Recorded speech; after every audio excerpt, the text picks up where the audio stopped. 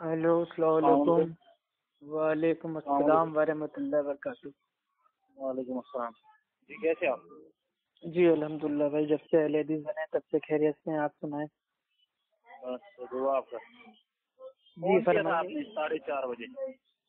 जी उससे पहले आपने फ़ोन किया था तो मैंने देखा तो मैंने आपको पलट के फ़ोन किया तो आपने उठाया नहीं तो मैंने तो बार बार फ़ोन नहीं किया। मैंने कहा हो सकता है कहीं बिज़ी हो काम में जी जी। मैंने सोचा कि आप बिज़ी होंगे कहीं काम पे इसलिए मैंने बार बार फ़ोन नहीं किया एक ही बार फ़ोन किया। जी जी जी। जी फरमाए भाई कोई खास काम था जो आप फ़ोन कर रहे थे? नहीं खास काम नहीं था कोई। अच्छा। तो हनफियत से आपने तौबा की कि नहीं की? क्यों करूँ तोबा? की क्या है? यार अल्लाह के नबी कुरान हदीस छोड़ के गए हैं हनफियत थोड़ी ना छोड़ के गए हैं। सल्लल्लाहु अलैहि वसल्लम। अल्लाह के नबी कुरान हदीस छोड़ के गए हैं ना हनफियत थोड़ी ना छोड़ के गए हैं। वो तो फिर हनफी है ही नहीं जो कुरान और हदीस नहीं ले लेगा। मतलब वो हनफी नहीं है जो कुरान हदीस को ना ले। मैंने बोला वो तो है ही नहीं फिर हनफी अगर उस कुरान और हदीस ना लिया। तो इसका मतलब दुनिया में कोई हनफी नहीं है। क्यों नहीं है? भाई क्योंकि कोई भी हनफी कोई भी हनफी मुकल्लिद के लिए कुरान हदीस हुज्जत ही नहीं है उसके लिए तो इमाम का कौल हुज्जत है। यानी कि तमाम हनफियत जो है वो है ही नहीं इस दिन इस्लाम में। आपने तो दिन से ही बार कर दिया। मेरी बात तो सुनो। जी सुनाइए। जैसे आप बोल रहे हैं ना मतलब हनफी के लिए कुरान और सब मतलब कुरान और हदीस हुज्जत नहीं है। नहीं भाई हम नहीं बोल रहे हैं आपके मौलाना महमूदुल हसन हँसी देवबंदी लिखते हैं कि हम तो मुकल्लिद हैं हमारे लिए कुरान हदीस के हवालों से कोई लेना देना नहीं है। हमारे लिए इमाम का फुका का राय और कयास उज्जत है। मैं क्या आप उसके मुकल्लिद हो? नहीं आप उसके मुकल्लिद है ना तो आप मेरे भाई क्यों नहीं उसकी बात मान रहे हैं? मुकल्लिद कहाँ है? हम तो इमाम आज़म अबू हनीफा के मुकल्लिद हैं। यानी कि आप देवबंदी नहीं हो? देवबंदी होना ज़रूरी है। ये तो मतलब एक तहरीक का नाम है देवबंदी। हाँ तो इसको आपने अहले सुन्नत कैसे बना लिया? अगर ये शहर का नाम है तो ये अहले सुन्नत वल जमात कैसे हो गई? ये तारीख का नाम है तारीख। अच्छा तारीख का नाम है? अभी तक तो हम सुन रहे थे भाई जो हक जमात है उसका नाम है। अब ये तारीख का नाम हो गया। मतलब एक झूठ को बचाने के लिए सौ झूठ बोलना ज़रूरी है? मेरी बात सुनो मेरी बात हाँ बताइए। जमात इस्लामी है है ना? जमात इस्लामी हाँ वो सब फिरके हैं। क्या है? फिरके। किसने बोला फिर के वो तो तारीख है। अरे मेरे भाई आपको फिरके और, और जमात में फ़र्क नहीं पता? हाँ। जमात एक है अहले सुन्नत वल जमात अहले हदीस। असल जमात है। और असल असल जमात से जो हट जाए जिसका अकीदा अलग हो जाए वो तमाम फिरके बन जाते हैं। अपने आप को फिर अहले सुन्नत क्यों नहीं बोलते हो? अहले हदीस क्यों बोलते हो? तो बोलते तो है ना अहले सुन्नत अहले हदीस दोनों एक ही है ना? हम चाहे अहले सुन्नत बोले चाहे अहले हदीस बोले। सुन्नत और हदीस एक ही होता है। लीजिए यही नहीं आपको मालूम? माजल्ला भाई हदीस और सुन्नत तो एक ही है ना दोनों? कैसे एक है? अरे भाई अब बैठ के पानी पीना ये भाई हदीस में आया है। तभी तो हमको पता चला सुन्नत है। तो हदीस और सुन्नत तो एक ही हुई। और दोनों की तारीफ़ भी एक ही है। अल्लाह के नबी का कौल फेल अमल और तकरीर यानी कि भाई किसी चीज़ को देख के खामोशी प्यार करना इसी को सुन्नत कहते हैं इसी को हदीस कहते हैं। विशाल रखते थे। हैं? रखते थे रसूलुल्लाह सल्लल्लाहु अलैहि वसल्लम। क्या रखते थे? विशाल ये क्या होता है भाई? है? ये क्या होता है? आपको नहीं पता है? नहीं पहली बार सुना है ना। तीन दिन तीन दिन रोजा रखते थे ना खाते थे कुछ ना पीते थे कुछ। तीन दिन तीन दिन क्या रखते थे रोजा? जी जी जी जी। हाँ तो अल्लाह के नबी तो भाई वो कसरत से रोज़े रखते थे तो उससे क्या दिक्कत है? तो वो भी तो सुन्नत है ना अल्लाह के नबी की? ये अल्लाह के नबी भाई वो पीर का रोजा रखते थे तो ये अल्लाह के नबी की हदीस भी है सुन्नत भी है। तो हदीस तो भाई हदीस सुन्नत एक ही है ना? हो? चौदह सौ उनतालीस साल में कौन से मुहद्दिसीन ने कहा कि हदीस अलग होती है सुन्नत अलग होती है? अहले सुन्नत अलग होते हैं अहले हदीस अलग होते हैं। आप इस पे अमल करते हो इस हदीस पे? हम्म? आप इस पे अमल करते हो? अमल दूसरा सवाल है। बात ये है कि वो सुन्नत है कि नहीं? अल्लाह के नबी रोज़े रखते थे वो हदीस में आया है तभी तो सुन्नत है। सुन्नत की तारीफ़ क्या है? सुन्नत और हद, भाई सुन्नत और हदीस वो लाजिम और मजलूम है यानी कि एक दूसरे के ऊपर डिपेंड है। लाजिम हम्म। अच्छा ये सब अरबी के मतलब, टर्म है जो हनफी मुकल्लिदों के समझ में नहीं आते हैं। हदीस तो ये है कि सहाबी आपने खुतना करवाते हो। अच्छा एक चीज़ बताइए।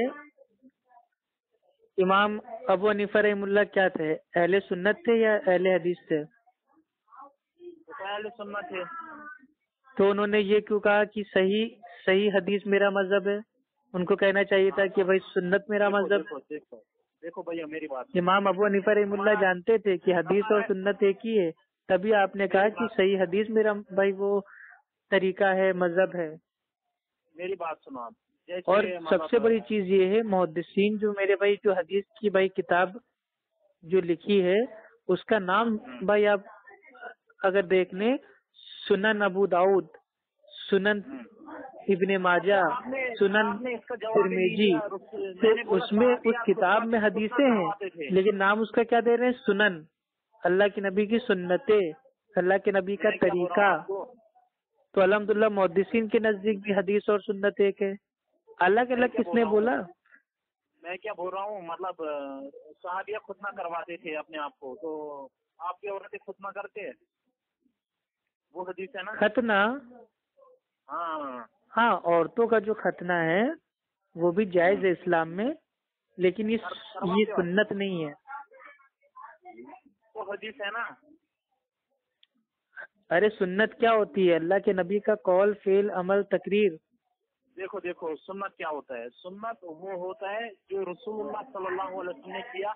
हाँ तो अल्लाह के नबी का माजल्ला औरत है आपके नज़दीक? कैसी बेकार बात आप करते हो? यार आपको मेरी बात जिस हदीस से अमल साबित होगा वो सुन्नत भाई होगा ना? अब अल्लाह के नबी ने चाँद के दो टुकड़े किए अब आप कहो कि आप भी भाई सुन्नत पे अमल करो वो अल्लाह के नबी की खास सुन्नत थी ना? वो मेरी बात तो समझ सुन नहीं रहा मैंने बोला सुन्नत हमारे सामने वो है जो रसूलुल्लाह सल्लल्लाहु अलैहि वसल्लम ने किया और बाद में उससे साहबा ने अमल किया। अच्छा मतलब बाद में साहबा ने अमल किया वही सुन्नत है? और जो अल्लाह के नबी ने खास जिस पर किया वो सुन्नत नहीं है? हूँ, तो अभी आपने बोला रसोल ने चाँद के दो टुकड़े किए। तो वो भी अल्लाह के नबी की सुन्नत है ना खास?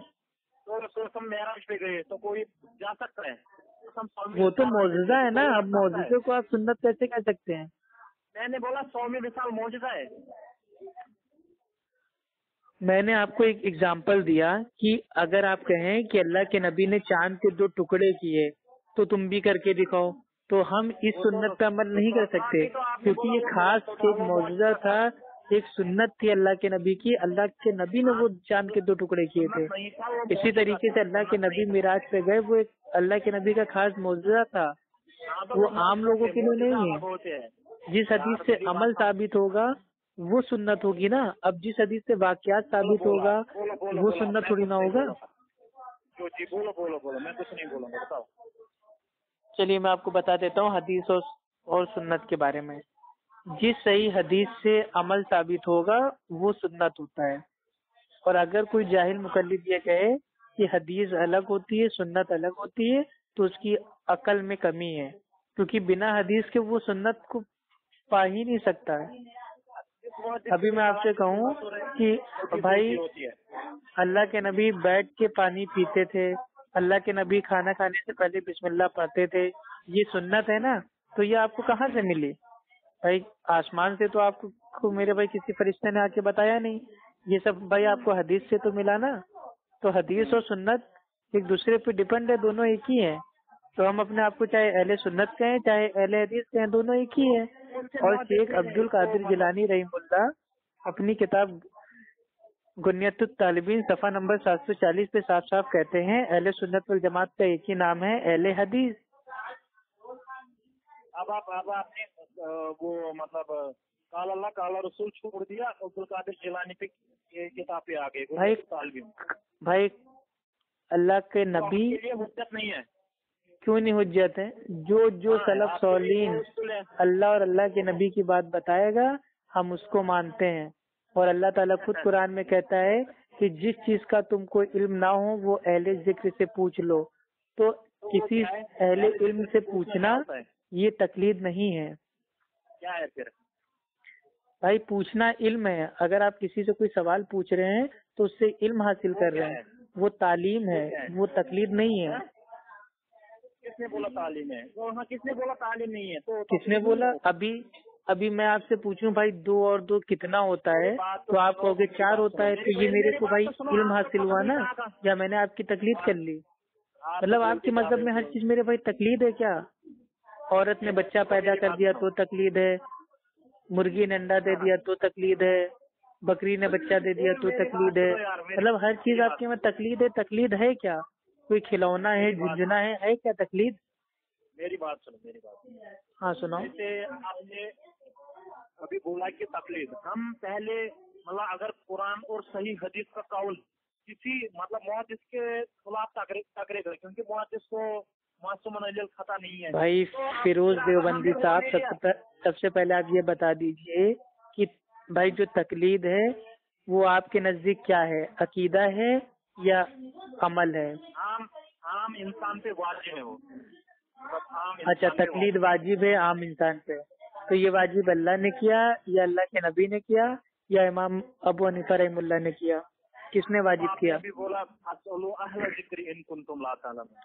तो वहाँ तो तकलीद है ही नहीं ना वहाँ तो इल्म हासिल करने की तालीम दी जा रही है ना। क्या इल्म हासिल? तो इल्म हासिल ही करने का मकसद ही है कि तकलीफ़ अरे तकलीद आपके आलिमों ने कहा है तकलीद एक कम इल्मी की अलामत है जिहालत है। इल्म उसमें कहाँ भाई हासिल होता है? आप आपको पूरा इल्म है। तकलीद की तारीफ़ आपकी हनफी जो उसूल की किताब है मुसल्लम सबूत उसमें लिखा हुआ है कि तकलीद उस अमल का नाम है कि किसी भी गैर नबी की बात को बिना दलील के मान लेना ये सोच के कि उसके पास कोई ना कोई तो दलील होगी। उस अमल का नाम तकलीद है। तो बिना दलील की बात मानेंगे तो आप जाहिल हो जाएँगे ना? और अल्लाह ताला ने ये कब कहा कि जिस चीज़ का तुमको इल्म ना हो बिना दलील आग मत कर कर तो तुम किसी से पूछ लो। नहीं अल्लाह तो ताला कह रहा है जिस चीज़ का तुमको इल्म ना हो अहले ज़िक्र से पूछ लो। तो जब हम उनसे हाँ। पूछेंगे तो वो हमको दलील दे के बताएँगे तब उनकी मानेंगे। हाँ। ऐसे हवा में थोड़ी ना मान लेंगे। अच्छा, कल को अच्छा, कोई अच्छा, आलिम कह अच्छा, देगा नमाज़ पच्चीस टाइम की फ़र्ज़ है। तो क्या हम पच्चीस टाइम की नमाज़ फ़र्ज़ मान लेंगे? मेरी बात सुनो अब आप वहाँ पे हट गए। मैंने बोला आपकी औरतें खत्म खत्म करवा दिया आपने औरत की खतना करने की हदीस के ताल्लुक से आपको मालूम है? पढ़ा है आपने क्या उसका बैकग्राउंड है? क्या है क्या है बैकग्राउंड उसका? नहीं आपको खाली आलिमों ने खाली दो चार एग्ज़ाम्पल दे दिए आपको रटा दिए। आपको ना बैकग्राउंड मालूम है ना कॉन्टेक्स्ट पता है। बस औरत का खतना औरत का खतना चालू हो गया। मेरी मेरी बात सुनो।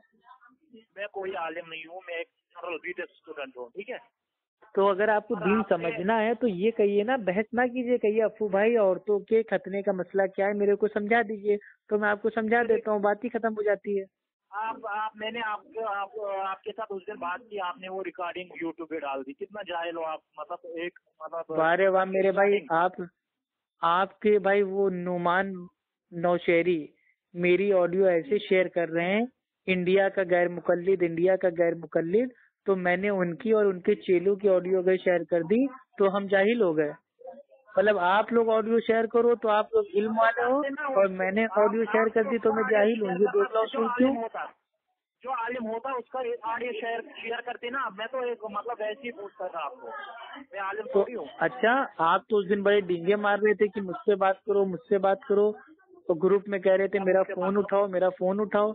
जब मैंने आपसे बात करके सुनो, आपकी जो हकीकत थी वो आवाम में मैंने शेयर कर दी तो आपको बड़ा मेरे भाई बुरा लग रहा है। को आँख बंद करके मान लेना वो तकलीफ़ है ठीक है? हम्म। ठीक है? जैसे हम हदीस को मतलब कंफाइन करते हैं हदीस इज़ मतलब सही और सही। ये हम्म किसने मतलब ये रसूलुल्लाह सल्लल्लाहु अलैहि वसल्लम ने सही और जयीफ का मतलब वहाँ से करके दिया था कि बाद में मुहद्दिस ने किया? ये जो हदीसों के उसूल हैं ये कुरान हदीस से ही भाई ये साबित है। और क्या ने कोई अपनी अकल से किसी किसी हदीस को हाँ। सही ज़यीफ और मौजू और गरीब और मुतावातिर और, और गैर मारिज हो और ये सब नहीं साबित कर दिया। मतलब मतलब पूरे नबी नबी के बिना कोई मतलब मतलब मासूम नहीं है। क्या ये मासूम हो सकते हैं? तो इसमें मासूम और गैर मासूम की बात कहाँ से आ गई? अगर कोई हदीस सही कह रहा है तो उसकी दलील दे रहा है। अगर कोई हदीस ज़यीफ कह रहा है तो उसकी दलील दे रहा है। तो हर काम तो दलील की बुनियाद पे हो रहा है ना?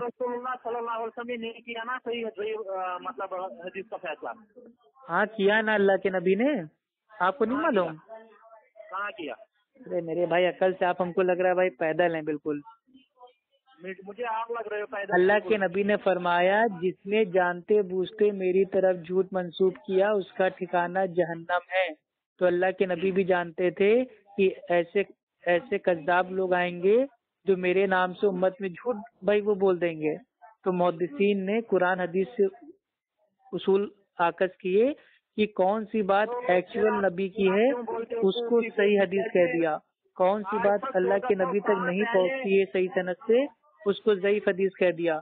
और कौन सी नबी के ऊपर झूठी बात मंसूब कर दी गई है, उसको मौजू करार दे दिया। तो ये तो हदीस तो मेरे भाई जो हदीसों के उसूल है अलहमदुल्ला कुरान हदीस से साबित है। हाँ ठीक है ठीक है ठीक है ना ठीक है ना। अल्लाह ताला खुद कुरान में कहता है कि जब कोई फासिक तुम तक कोई खबर लेके आए तो उसकी अच्छे से तहकीक कर लिया करो। तो मुहद्दिसीन ने तहकीक की कि जो ये हमसे हदीस बयान कर रहा है ये रावी कैसा है? ये सिका है या मतलब ये मतलब झूठा है? ये कहाँ पैदा हुआ? इसकी कुनियत क्या थी? और ये कैसा था? इसका हाफिजा कैसा था? ये कहाँ तो पैदा हुआ कब इंतकाल हुआ तो रावियों का पूरा हाल जमा हुआ है। और दलील से बताया गया है कि ये हदीस सही है ये ज़यीफ है और ये मौजू है। कोई हम आग बन करके थोड़ी ना मान लेते हैं। मैं बोल रहा हूँ गैर नबी की बात है ना। मेरे भाई आपके अशरफ अली थानवी साहब कहते हैं कि कुरान और हदीस की बात मानना तकलीफ़ नहीं है। किसी गैर नबी की बात को दलील के बगैर दलील आप एक काम कीजिए सबसे पहले जूता उठा के अपने अशरफ अली थानवी को मारिए जाके। उन्होंने खुद कहा था कि किताब सुन्नत की बात मानना तकलीद नहीं है और आप ज़बरदस्ती ये साबित करना चाह रहे हैं कि हदीस को मानना तकलीद है। अरे हदीस को मानना तकलीद है ये आज तक चौदह सौ उनतालीस साल में कौन से मुहद्दिसीन ने आपको बताया? हाँ। भाई हाँ, कुरान हदीस को मानना तकलीद हो गया। कुरान- फिर क्या होता है? कुरान में है। क्या कुरान में? जो आपने जो आपने नुमान साहब को बोली ना वो मतलब आयत नंबर फिफ्टी सिक्स निसा की हम्म। वो उन्होंने आपको उसमें क्या भाई सूर्य था? सूरा नंबर चार आयत नंबर फिफ्टी नाइन। ठीक? 59, हाँ, उसमें अल्लाह 59, हाँ। उसमें अल्लाह रब्बुल इज़्ज़त फरमाता है ए ईमान वालो अल्लाह की इतात करो, अल्लाह के रसूल की इतात करो, और जो तुम में हाकिम हो, उलिल अम्र हो, उनकी बात को मानो। अगर उनमें आपस में इख्तलाफ हो जाए तो वापस जाओ अल्लाह और अल्लाह के नबी की तरफ़। अगर तुम आखिरत के दिन पे ईमान रखते हो तो। तो अल्लाह रब्बुल इज़्ज़त ने बता दिया कि जो ये उलिल अम्र हैं, इनमें इख्तलाफ होगा। और इख्तलाफ होगा तो हमको कहाँ जाना पड़ेगा? अल्लाह और अल्लाह के नबी की तरफ़। तो इख्तलाफ तभी होगा ना जब हम चारों की दलील देखेंगे। जब आग बन करके हम सबकी सबकी तकलीद कर लेंगे, भाई हनफी लोग, इमाम अबू हनीफा रहमुल्ला की भाई तकलीद कर लेंगे, शाफई लोग, इमाम शाफई की तकलीद कर लेंगे, मलकी लोग, इमाम मालिक रहमुल्ला की तकलीद कर लेंगे, हम्बली लोग, इमाम अहमद बिन हम्बल की तकलीद कर लेंगे तो इख्तलाफ कहाँ होगा? लेकिन जब चारों लोग अपने अपने इमाम की दलील देखेंगे तो चारों में इख्तलाफ होगा। और जब इख्तलाफ होगा तो उनको लास्ट में अल्लाह और अल्लाह के नबी की तरफ़ भाई उनको लौटना पड़ेगा। फॉर एग्ज़ाम्पल आप ये आयत नंबर आयत फिफ्टी आयत नंबर फिफ्टी नाइन पढ़ना जो आप या अय्युहल्लज़ीना आमनु अतिउल्लाह व अती रसूल व उलिल अम्रि मिनकुम। मतलब अब यहाँ पे लोग इतनी आयत पढ़ते हैं और कहते हैं कि उलिल अम्र से मुराद तफसीर इब्ने अब्बास में है कि जो फुका इकराम है वो है। तो फुका इकराम को हम मानते हैं कि हाँ भाई वो हैं उलिल अम्र। ठीक? लेकिन इसका माना ये नहीं है कि उनकी तकलीद करो। क्योंकि अल्लाह ताला खुद इस आयत से तकलीद का रद्द कर रहा है कि अगर आपस में इख्तलाफ हो जाए तो अल्लाह और अल्लाह के नबी की तरफ़ जाना ही जाना है। अगर आखिरत के दिन पे ईमान रखते हो तो तो हम लोग आखिरत के दिन पे ईमान रखते हैं। इसलिए जब भी इख्तलाफ होता है हम लोग अति अल्लाह अति रसूल की तरफ़ लौट जाते हैं। लेकिन आप लोग तो आग बन करके तकलीफ़ कर लेते हो लौट खुद को लौटने का मौका ही नहीं देते हो। और खुद सोच लेते हो कि हमारे इमाम अबू पर मासूम थे उनसे गलती हो ही नहीं सकती। तो खुद ही आप लोग का मज़हब गंदा है तो उसमें मेरे भाई अहले हदीसों को दोष क्यों देते हो? किसने बोला वो मासूम है। भाई आप लोग का दावा है कि हमारी फिका हनफी का हर एक मसला कुरान हदीस के के बिल्कुल मुताबिक है। कुरान और कुरान हदीस का निचोड़ है। और फिका हाँ। हनफी के सैकड़ों मसले ऐसे हैं जिनका कुरान हदीस से तो छोड़ो इमाम अबू हनीफा रहमुल्ला से भी कोई दूर दूर तक लेना देना नहीं है। लेकिन फिर भी उसका दिफा करते हैं। और अल्लाह ताला सूर्य तौबा की आयत नंबर इकतीस में थर्टी वन में साफ़ साफ़ फरमाता है कि उन लोगों ने अपने आलिमों को दरवेशों को उलमाओं को अपना रब बना लिया है। मेरी बात सुनो ये जो आपने सुबह निस्सा की आयत पढ़ी है आप दोबारा रिपीट करना? अरे भाई एक आयत कितनी बार पढ़वाओगे मेरे भाई? आप क्या साबित करना चाह रहे हो बताओ। या लजीना आमनु यही बोला ना? हाँ जो लोग ईमान लाए हो तो। वादी रसूल उल अमर मिनकुम फइन तनाज़तुम फ़ी अल्लाहि व रसूल इन कुंतुम तुमिनूना बिल्लाहि वल यौमिल आखिर ज़ालिका खैर व अहसन तावीला ये बोली ना आपने हाँ तो ये ईमान वालों हुक्म मानो अल्लाह का और हुक्म मानो रसूलुल्लाह सल्लल्लाहु अलैहि वसल्लम का हुक्म नहीं अल्लाह की इतात करो अल्लाह के नबी की इतात करो और जो तुम में बड़े हो हाकिम हो उलिल अम्र हो हाँ, उनकी बात को मानो। मेरी बात तो सुना अगर मैं गलत बोलूँ फिर बोल। रहा फिर अगर झगड़ पड़ो किसी चीज़ में तो उसको रुजू करो करो। अल्लाह के और सल्लल्लाहु अलैहि वसल्लम की तरफ़। अगर यकीन रखते हो अल्लाह पर और कयामत के दिन पर ये बात अच्छी है और बहुत बेहतर है। इसका अंजाम हम्म, इसका अंजाम मतलब अच्छा होगा ठीक है ना? बेशक। अब मैं इसमें आपको इज्तिहाद और कयास का सबूत दूँगा ठीक है? आपने बोला तो भाई इजतिहाद और कयास को तो हम मानते ही मानते हैं मेरे भाई। हाँ तो वही तो मैं आपको इसका मतलब आप इसकी तफसीर सुनो ना पूरी।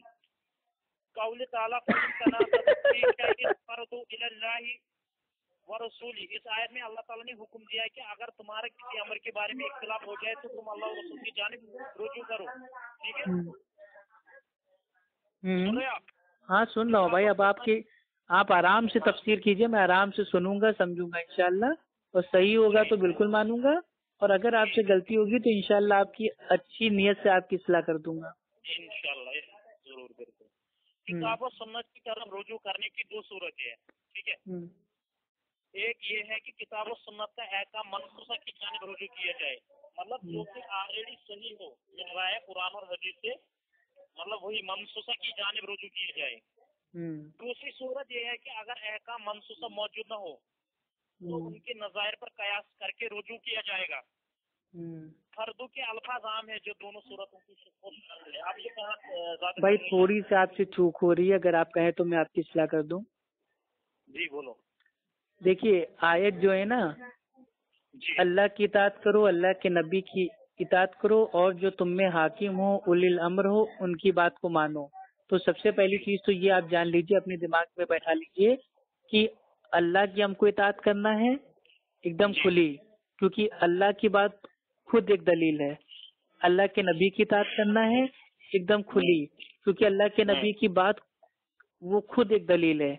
लेकिन जो उलिल अमर है वो अतिउल्लाह और अति रसूल के पाबंद हैं उसके ताबे हैं। यानी कि जो उलिल अम्र जो भी बात बताएगा वो अल्लाह और अल्लाह के नबी से बताना चाहिए। अब आप जो कह रहे हो कि जो मसाइले मनसूसा हैं मसाइले भाई वो गैर मनसूसा हैं यानी कि कुछ ऐसे मसाइल हैं जो कुरान हदीस में बिल्कुल साफ़ साफ़ आए हुए हैं ज़ाहिर। और कुछ ऐसे मसाइल हैं जो कुरान हदीस में छुपे हुए हैं। जैसे पानी होता है एक पानी होता है जाहिरी पानी जो हम अपनी आँखों से देख लेते हैं और एक पानी होता है ज़मीन के अंदर छुपा हुआ जो हम देख नहीं सकते। तो जो आलिम होगा मुहदसिन होगा मुजतहिद होगा वो मतलब भाई खोद के पानी को निकालेगा उस तरीके से जो हमारे चारों अइमा थे, उन्होंने अलहमदुल्ला दीन में बहुत मेहनत की, खिदमत की और उन्होंने कुरान, हदीस में जो मसले थे, लेकिन जाहिरी तौर पे नहीं थे, उनको उसूल की रोशनी में उसको निकाल के आवाम को बताया। हम उसको मानते हैं अल्हम्दुलिल्लाह और उनके मसले को मानना तकलीद नहीं है, वो भी इतबा है, क्योंकि जो भी आलिम कयास करेगा, इजतिहाद करेगा वो दलील देगा। आप समझ रहे हैं? हाँ तो दलील दलील के साथ ही कोई बात अगर लेगा तो दलील के साथ कोई बात मानना उसको इत्तबा कहते हैं और बिना दलील के किसी बात को मानना तकलीफ़ कहते हैं। मेरा आपसे एक छोटा सा सवाल है मेरे भाई। आप अपने दिल पे हाथ रख के जवाब दीजिए मेरे प्यारे भाई फिरोज भाई। दिल पे अपने हाथ रख के आप भाई एकदम अल्लाह को एकदम गवाह बना के जवाब दीजिए। आज तक ऐसा आपकी ज़िंदगी में कौन सा मसला पेश आ गया जिसमें आपको तकलीफ़ करने की ज़रूरत पड़ गई। एक मसला खाली बता दीजिए। आपकी ज़िंदगी में ऐसा कौन सा मसला आ गया मसाइल गैर मतलब भाई वो गैर मनसूसा जिसमें आपको तकलीफ़ करने की सख्त मतलब ज़रूरत पड़ गई? ऐसा कौन सा मसला पेश आया आप तक जैसे मैं जहाज़ में आया घर मतलब घर जहाज़ में।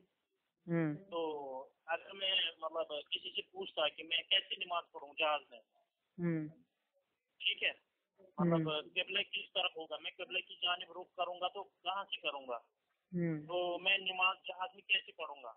हम्म। तो इसके लिए ज़रूरी है ना? तो ये मसाइले ये गैर मनसूसा थोड़ी ना है? ये तो मसाइले मनसूसा है। और मसाइले मनसूसा में तो तकलीद होती नहीं है। मसाइले मनसूसा वो होता है जो एकदम कुरान हदीस में जाहिरी तौर पे हो।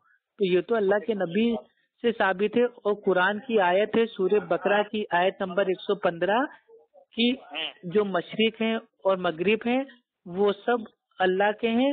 तुम जिधर भी रुख करोगे अल्लाह का सामना पाओगे। हाँ, और अल्लाह के नबी जब सवारी पे नमाज़ पढ़ते थे तो सवारी का रुख जहाँ होता था वही भाई नमाज़ के वक्त का भाई किबला होता था। तो जब आप जहाज़ में नमाज़ पढ़ लें आप अपनी नियत बाँध लीजिए जहाज़ जहाँ जा रहा है जाने दीजिए।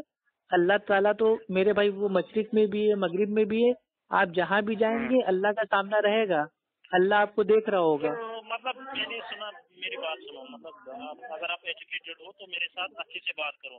मतलब तो भाई मैंने कौन सी आपको गाली दे दी इतनी देर में? नहीं नहीं नहीं देखो देखो कैसे बोल रहे हैं आप। मतलब एक जो आज का मॉडर्नाइजेशन दौर है इसमें आप मैं आपको बात बोल रहा हूँ कुछ आप बोल के जा रहे हो मेरी सुनते नहीं हो अगर किसी को इस तरह की नियत होती ना वो बोलने वाले को मतलब अगर किसी को अरे मेरे भाई हमें कोई ज़्यादा बड़बड़ करने का शौक नहीं है। मेरा भी भाई एक मुँह है दर्द करने लगता है बोल बोल के। लेकिन मैं ये चाहता हूँ कि कम अल्फाज में आपको ज़्यादा इल्मी बातें बता दूँ क्योंकि आपके आलम दीन भी आपको इतनी इल्मी बात नहीं बताएँगे। वो आपको ज़िंदगी भर मनसूसा गैर मनसूसा इसमें उलझाए रहेंगे। आपके वहाँ तो अकीदे में भी तकलीद होती है। अकीदे में भी। अब बताइए। आपके वहाँ तो अकीदे में भी तकलीद होती है नमाज़ में भी तकलीद होती है मसले मसाइल में भी तकलीद होती है मनसूसा में भी तकलीद होती है गैर मनसूसा में भी तकलीद होती है। आपके वहाँ हर चीज़ में तकलीद होती है। लेकिन आवाम आवाम को धोखा दिया जाता है कि हम तकलीद खाली मसाइले गैर मनसूसा में करते हैं। गैर मनसूसा मसाइल भाई कौन सा होता है पता है? अब मानिए रोज़े में इंजेक्शन लगने का मसला है। ये मसाइले भाई ये मतलब इसको बोलेंगे मसाइले भाई गैर मनसूसा अब रोज़े की हालत में इंजेक्शन लगवाने से रोजा टूटेगा कि नहीं? अब ये मसला है। लेकिन इसमें भी तकलीफ़ करने की ज़रूरत वही नहीं है। देखो देखो देखो। कोई भी आलिम आपको बता देगा कि भाई रोज़े में इंजेक्शन लगने से रोजा नहीं टूटेगा क्योंकि रोजा टूटने के जो उसूल आए हुए हैं वो है कुछ खाने पीने से रोजा टूटेगा। हाँ ताकत का आप भाई इंजेक्शन ना लीजिए भूख प्यास ना लगने का इंजेक्शन आप ना लीजिए। लेकिन अगर आपको कोई ऐसी बीमारी है जैसे डायबिटीज़ हो गई है शुगर हो गई है और बिना इंजेक्शन के आपकी जान को खतरा हो सकता है तो आप रोज़े की हालत में इंजेक्शन भाई को ले सकते हैं। इसमें तकलीफ़ करने की ज़रूरत कौन सी आ गई? और इतनी बड़ी मजबूरी कैसे आ गई कि तकलीफ़ वाजिब हो गई? आप खुद अपने दिल से सोचो आप खुद पढ़े लिखे इंसान हो। मेरी बात सुनो मेरी बात सुनो।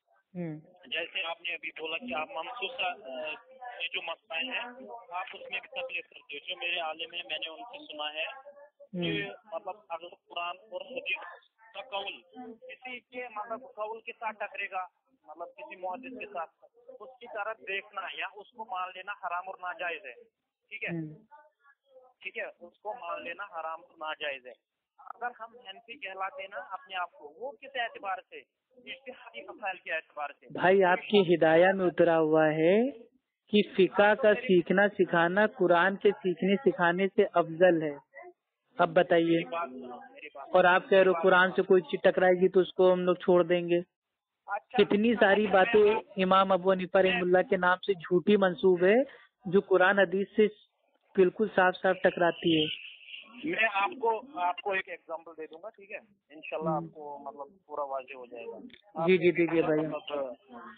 जैसे मतलब रसूलुल्लाह सल्लल्लाहु अलैहि वसल्लम करते थे ठीक है ना? नहीं रफा दैन भी करते नहीं थे वो हमेशा रफा दैन करते थे आखिरी जमाने तक किया और किसी एक भी नमाज़ में रफा दैन ना करने की दलील सही हदीस से साबित नहीं। है ये हनफियों का एक बहुत बड़ा झूठ है कि अल्लाह के नबी कभी रफा दैन करते थे कभी छोड़ते थे पहले करते थे बाद में मनसूख हो गया ये झूठ है। मुस्लिम शरीफ की हदीस है ना? जाबिर बिन समरा रज़ी अल्लाह हाँ सही मुस्लिम हदीस नंबर 430 अल्लाह के नबी आते हैं और साहबा से कहते हैं ये मैं तुम्हें क्या देखता हूँ? तुम नमाज़ में शरीर घोड़ों की दुमों की तरह इशारा करते हो। ऐसा मत करो नमाज़ में सुकून इख्तियार करो। उस कुनूफिक सलाह नमाज़ में सुकून इख्तियार करो। सीधा लिखा है कि रफे दैन ना करो। हाँ तुम ना करो ना रफा दैन है ना? हाँ। और रफेल दैन जब होता है नमाज़ में वो मतलब उन्होंने बोला ना करो।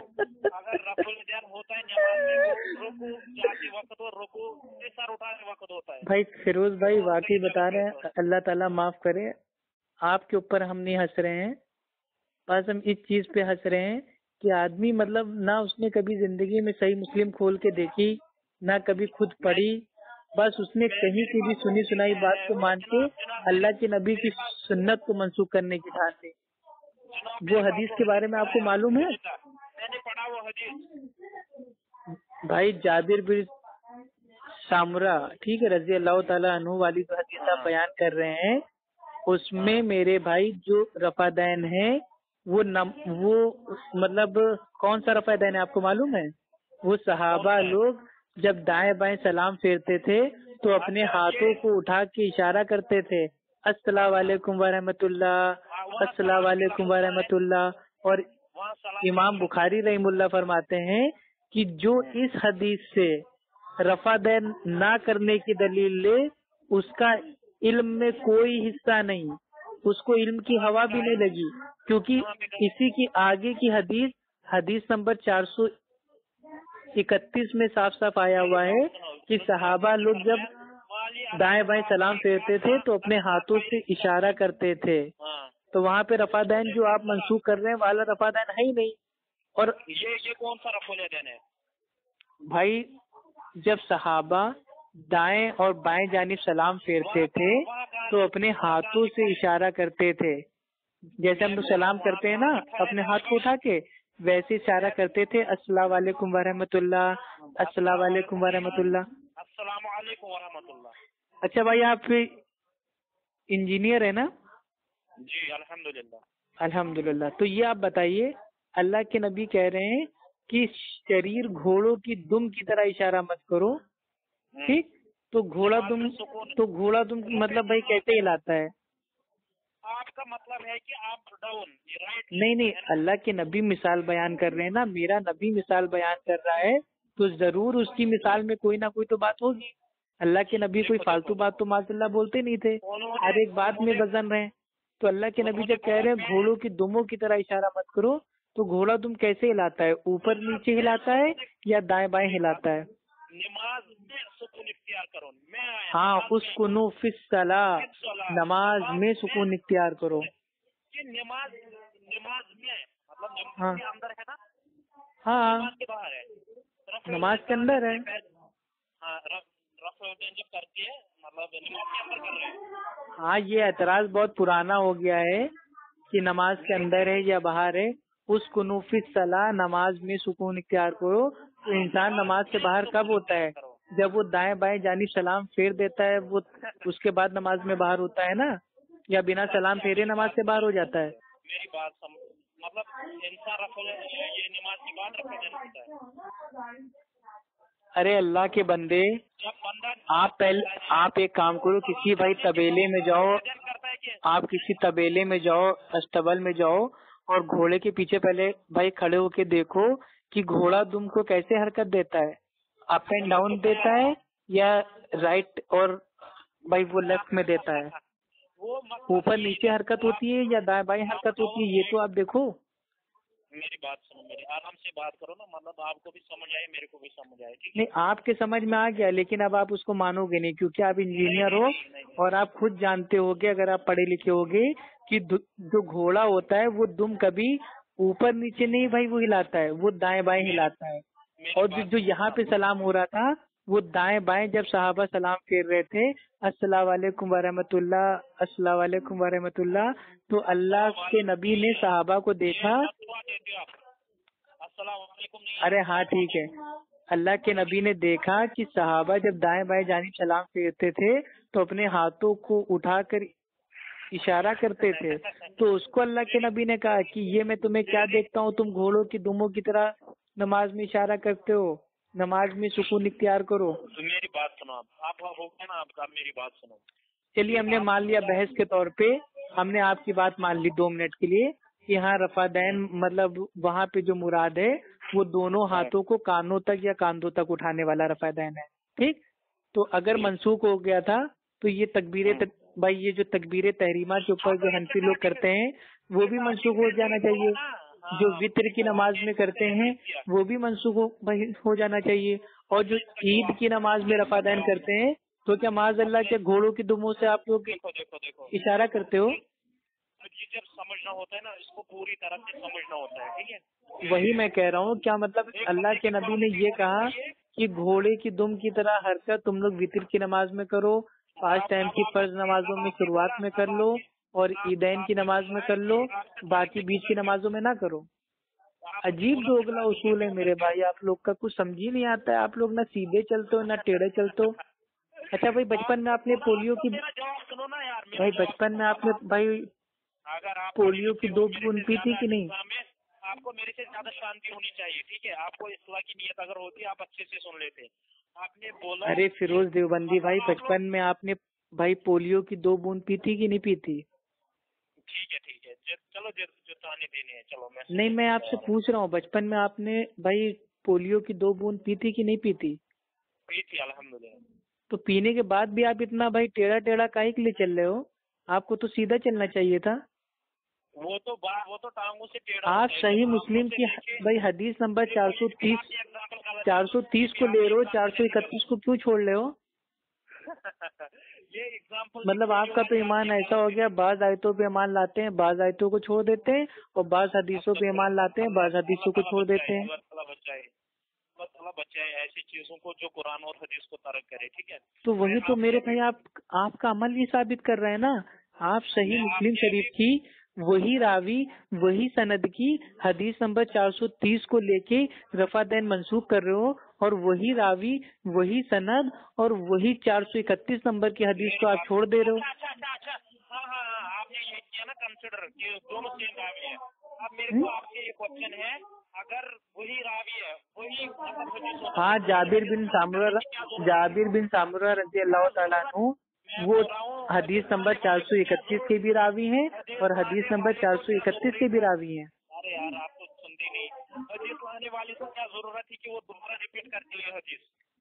हाँ ये गुड क्वेश्चन है आपका। अब आपने मेरे भाई जाहिलो वाला सवाल किया है। अब आप सुन लीजिए। ठीक है? हाँ पहली जो हदीस का मतन है बात सुनो पहले। मैं आपको सुनता हूँ ना बात भाई फिर वे जी सवाल करते हैं अब जवाब नहीं देने देते तो मेरा मूड खराब हो जाता है। फिर सवाल ना क्या कीजिए। सुनूँगा आपका हम। अहले हदीस है। हमारे पास हर सवाल का अलहमदुल्ला जवाब है। तो आप सुनिए। थे इमाम आप लोग आप लोग मुकल्लिद हो आप लोग सवाल की दुकान हो। आप लोग सवाल करते जाओ अहले हदीसों से जवाब लेते जाओ। नहीं मेरी बात तो आपने सवाल किया कि वो हदीस दोबारा रिपीट करने की क्या ज़रूरत थी? तो इसका जवाब सिर्फ़ एक है कि पहली हदीस में अल्लाह के नबी ने सहाबा को टोका कि नमाज़ में घोड़ों की दुम की तरह हरकत मत करो और उसी की अगली हदीस में ये बताया गया है कि वो जो सलाम के टाइम जो रफादैन कर रहे थे, उसकी जगह क्या है? तो वहाँ पे जगह बताई गई है कि भाई तशवुद में बैठ के जब दुआए मासूरा पढ़ने के बाद जब साहबा दाएँ बाएँ जानी सलाम फेरते थे तो अपने हाथों को उठा के घोड़ों की दुमों की तरह इशारा करते थे। उसको अल्लाह के नबी ने मना किया है कि उसको नोफिस सलाह, नमाज़ में सुकून इख्तियार करो और घोड़ों की दुमों की तरह हरकत मत करो। तो दोनों हदीस को जब आप समझेंगे तो पता चलेगा कि अलहमदुल्ला, तकबीर तहरीमा वाला और रुकू से पहले वाला, रुकू से बाद वाला और दूसरी रकात के बाद, जब तीसरी रकात के बाद खड़े होते हैं, वाला रफादैन, मनसूख नहीं है। अल्लाह के नबी ने अपने आखिरी जमाने तक रफा रफादैन किया। आखिरी जमाने तक जो सहाबी अल्लाह के नबी के साथ रहे, उन्होंने गवाहियाँ दी हैं। उन्होंने अल्लाह के नबी की नमाज़ का तरीका बताया है कि हमने अल्लाह के नबी को नमाज़ पढ़ते देखा अल्लाह के नबी ऐसे नमाज़ पढ़ते थे ऐसे नमाज़ पढ़ते थे और उसमें अलहमदुल्ला रफादैन शामिल है। तो कोई सहाबी अल्लाह के नबी के ऊपर झूठ नहीं बोलेगा। मेरी बात सुनो है अब्दुल्ला इब्न मसूद रज़ी अल्लाह ज़ईफ हदीस है। इमाम अबू दाऊद रहीमुल्ला रफा दैन ना करने के बाद भाई वो बाब में अब्दुल्ला इब्ने मसूद वाली भाई वो हदीस लेके आए हैं रज़ी अल्लाह अन्हु वाली हदीस को लेके आए हैं और उसके बाद कहते हैं इस हदीस के नीचे ही कि ये हदीस एक बड़ी तवील हदीस का एक छोटा सा टुकड़ा है जो अपने इन अल्फाजों के साथ महफूज नहीं है। तो अब बताइए आप जो हदीस एक बड़ी सी हदीस का छोटा सा टुकड़ा है और वो अपने अल्फाजों के साथ महफूज नहीं है आप उस मतलब जयीफ हदीस से आप मेरे भाई रफादैन की मतलब जो सुन्नत है अजीम सुन्नत उसको मनसूख कर दोगे? उमर रज़ी अल्लाह तु फरमा रहे हैं कि नमाज़ में रफादैन करना नमाज़ की जीनत है नमाज़ की खूबसूरती है और आप नमाज़ की खूबसूरती को मनसूख करना चाहते हो? वो भी जयीफ हदीस से? अस्तगफिरुल्लाह तोबा तोबा तोबा कितना मतलब घटिया ईमान है आपका मेरे भाई। एक सवाल आपसे पूछूँ अगर आप जवाब दे दोगे तो अभी हनफी बनने के लिए तैयार हूँ नहीं आपका हो गया ना। नहीं एक सवाल मैं पूछूँ? मैं अगर दम हो तो जवाब दे दीजिए अगर वाकई आप पढ़े लिखे हो सलाहियतमंद हो। एक सिंपल सा क्वेश्चन कर रहा हूँ आपसे। अहले हदीस अगर रफादैन इसलिए करे कि अल्लाह के नबी ने रफादैन किया तो वो गलत है वो मनसूख है। लेकिन अहले हदीस अगर इमाम शाफई की भाई तकलीद में रफादैन करे तो वो जायज़ है। तो ये दोगलापन क्यों? सुनो मेरी बात अब। नहीं इसका जवाब आप हमको दे दीजिए कि शाफई रफादान करें तो वो सही है अहले हदीस रफादान करें तो वो गलत है ऐसा मतलब दोगलापन क्यों? आपने क्वेश्चन किया ना आप इसका सुनाइए। मतलब ठीक है हम नहीं बोलते हैं कि रफुल दैन मनसूख है। हम बोलते हैं रसूलुल्लाह सल्लल्लाहु अलैहि वसल्लम ने किया है। तो अब रसूलुल्लाह सल्लल्लाहु अलैहि वसल्लम ने कहीं पे भी नहीं कहा है कि मैं रफे दैन कर रहा हूँ तुम भी करो। मैं नहीं कर रहा हूँ तुम भी मत करो। कहा है ना मेरे भाई? है? कहा है अल्लाह के नबी ने? कहाँ कहा है? भाई सही बुखारी की हदीस नंबर 604 है। उस तरह नमाज़ पढ़ो जैसे मुझे पढ़ते हुए देखते हो। तो अल्लाह के नबी ने हर नमाज़ में रफा रफादैन किया और सहाबा ने देख के हर नमाज़ में रफा रफादैन किया। ये आपने कैसे कह दिया कि अल्लाह के नबी ने कब कहा रफादैन करो, कब कहा ना करो? अल्लाह के नबी ने तो पूरी नमाज़ ही बता दी ना। उस तरह नमाज़ पढ़ो जैसे मुझे पढ़ते देखते हो। अरे तो नमाजी में तो रफा रफादैन है। ऐसे तो अल्लाह के नबी ने ये भी नहीं कहा कि नाप के नीचे हाथ बांधो, आमीन धीमे से बोलो। जो अभी से रिवायत पेश की थी उसको किस कहा है? कौन सी? किस मुहद्दिस ने उस हदीस को जयीफ कहा है? कौन सी हदीस को? जो हमीद सादी रदी अल्लाह अन्हु से रिवायत है। अरे हदीस तो बताइए। कि मैं आपको सबसे मैं आपको रसूल वसल्लम की नमाज़ पढ़ के दिखाऊँ क्योंकि मैं अच्छा अब्दुल्ला इब्ने मसूद वाली? म- हाँ मसूद वाली। अब्दुल्ला इब्ने मसूद रज़ी अल्लाह हूँ। वो कहते हैं, क्या मैं तुमको अल्लाह के नबी की नमाज़ का तरीका ना बताऊँ? अल्लाह के नबी जब नमाज़ पढ़ते तो एक बार रफादैन करते, फिर रफादैन ना करते। ये हदीस हैं, ये हदीस इमाम अबू दाऊद रहीमुल्ला अपने अरबी के नुस्खे में रफा दैन ना करने के बाब, ये एक पूरा बाब है रफा दैन ना करने का बाब। उस बात, उस चैप्टर में इस हदीस को नकल करते हैं और लास्ट में इमाम अबू दाऊद रहीमुल्ला खुद कह देते हैं कि ये हदीस एक बड़ी सी हदीस का एक छोटा सा टुकड़ा है जो अपने इन अल्फाजों के साथ महफूज नहीं है। तो वो खुद कहते हैं ये हदीस ज़यीफ है और यही सेम हदीस इमाम तिरमिजी रहीमुल्ला अपनी किताब में लाते हैं और वो इस हदीस को कहते हैं कि ये हदीस हसन है। लेकिन इमाम तिरमेजी जिस हदीस को हसन कहते हैं, उसको हसन मानने से पहले हमें ये जानना पड़ेगा कि इमाम तिरमेजी रहीमुल्ला जो मोहदिसिन है, वो वो अलग टाइप के मोहदिसिन है। उनको उनको बाकी मोहदिसिन ने कहा है कि जो ये मोहदिसिन है, वो है मुतासाहिल। यानी कि खाली अगर वो किसी चीज़ को हसन कह देंगे, सही कह देंगे, और और बाज मोहदिसिन की जो भाई वो जमात है, अगर वो उसको मतलब जहीद कह रही है तो अक्सरियत की बात को ली जाएगी इमाम तिरमेजी की बात को नहीं लिया जाएगा क्योंकि इमाम तिरमिजी रहीमुल्ला वो मुतासाहिल मोहदिसिन थे। तो ये सब आपको समझना पड़ेगा। और इतनी इल्मी बात कोई हनफी आलिम ना जानता है और ना कभी आवाम को बताएगा। और जानता भी है तो मेरे भाई छुपा लेगा क्योंकि उसको अपने मसलब को बचाना है ना। उसको अपने मसलब को मतलब भाई साबित करना है मैं तो खुला चैलेंज दे रहा हूँ अल्लाह के नबी की एक नमाज़ बता दो सही हदीस से जिसमें अल्लाह के नबी ने भाई रफादैन ना किया हो तो मैं अल्लाह सुबहान तला की कसम खाता हूँ मैं ज़िंदगी में कभी रफादैन नहीं करूँगा। एक सही हदीस मुझे पेश कर दो। तो ये सही हदीस नहीं था मुस्लिम शरीफ का? मुस्लिम शरीफ की हदीस सही है बिल्कुल और उसमें जो रफा दैन मनसूख है वो वाला तो अलहमदुल्ला हम लोग करते नहीं है। हम लोग दाएँ बाएँ जब भाई सलाम फेरते हैं तो अपने हाथों से घोड़ों की दुमों की तरह इशारा नहीं करते हैं। घोड़े की दुम ऊपर नीचे भाई हरकत करती है या दाएँ बाएँ करती है? यही आपको नहीं पता? उस नमाज़ में है ना? उस कुनू फिसला नमाज़ में सुकून इख्तियार करो। हाँ, तो आप खुद बोलते हैं मैं क्या होता है? नमाज़ के अंदर वाला है रफे अरे आप मेरे भाई एक चीज़ बताओ आप बचपन से पागल हो या इंजीनियर बनने के बाद पागल हुए हो? पागल तो तुम लगते हो मुझे। नमाज़ कब खत्म होती है? नमाज़ जब आप दाएँ बाएँ जानी सलाम फेर देते हो उसके बाद नमाज़ के बाहर होते हो ना? या बिना सलाम फेरे नमाज़ के बाहर हो जाते हो? हद है मेरे भाई। चलिए मेरे भाई ठीक है रात बहुत हो गई है। अस्सलाम वालेकुम वरहमतुल्लाहि वबरकातुहू। अल्लाह ताला आपको हिदायत दे कल बात होगी आगे इसके आगे।